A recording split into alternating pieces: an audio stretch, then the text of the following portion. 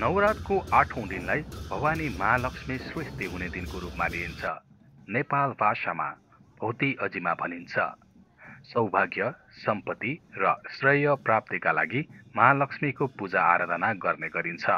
सम्पन्नताकी देवी महालक्ष्मीले कोजाग्रत पूर्णिमाका रात पृथ्वीको भ्रमण गरी को जागेको छ भनी हेर्ने र जो जाग्राम बसी महालक्ष्मीको पूजा आराधना गरिरहेको छ उसैलाई आशीर्वाद दिई धन धान्यले सम्पन्न गरिदिने धार्मिक विश्वास रहिआएको छ।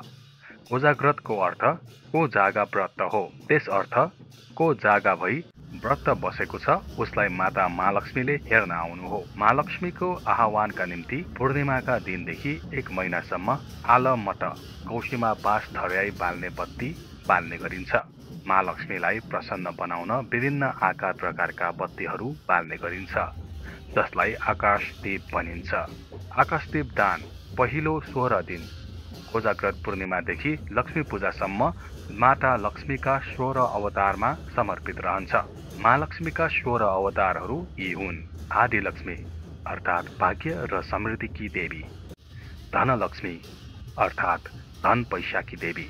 धन्यलक्ष्मी अर्थात् अन्न र सुस्वास्थ्यकी देवी। गजलक्ष्मी, अर्थात् शक्ति, स्रोत र साधनकी देवी। सन्तान लक्ष्मी, अर्थात् सन्तान प्राप्ति गराउने देवी। वीरलक्ष्मी, अर्थात् वीर र सौन्दर्यताको देवी।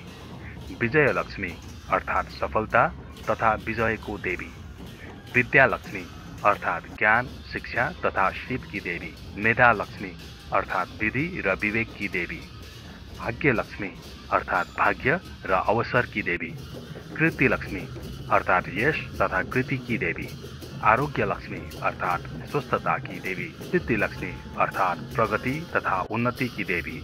सौन्दर्य लक्ष्मी, अर्थात् सौन्दर्य तथा रूपकी देवी। साम्राज्य लक्ष्मी, अर्थात मोक्ष प्राप्ति, अधर्म मुक्ति की देवी।